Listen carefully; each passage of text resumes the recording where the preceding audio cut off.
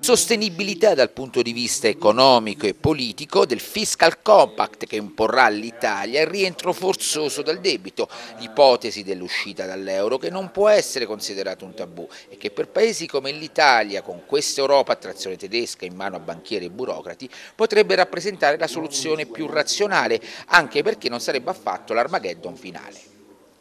Questi ed altri temi del convegno Italexit organizzato dal quotidiano online Abruzzo Web che ha visto protagonisti all'Aquila Marco Zanni, europarlamentare, Lorenzo Esposito, funzionario della Banca d'Italia, Stefano Silos Labini, promotore della proposta dei certificati di credito fiscale, Giuseppe Palma, giurista e scrittore e l'economista Massimo Pivetti. Possibilissimo uscire dall'euro, noi abbiamo eh, il nostro debito pubblico che per il 96% circa è regolato ancora da giurisdizione nazionale, benché sia espresso in euro e ancora regolato da giurisdizione nazionale. È stato calcolato che la svalutazione della lira, che comunque sarebbe salvifica perché ci aiuterebbe ad aumentare le esportazioni, si aggirerebbe tra un minimo del 7 e un massimo del 15%, quindi una, una svalutazione della nuova lira assolutamente salvifica per le nostre esportazioni.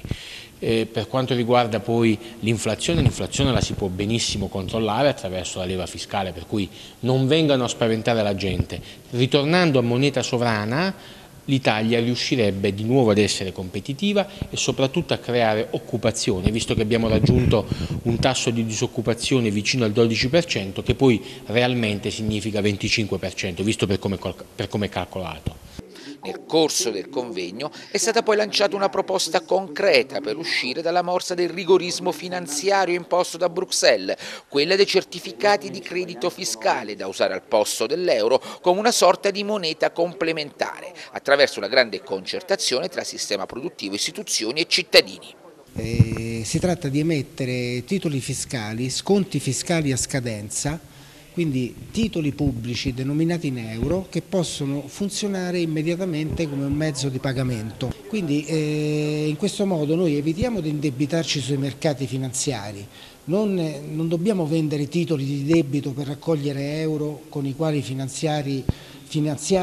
l'espansione della spesa, ma eh, noi emettiamo questi titoli fiscali che eh, hanno anche mh,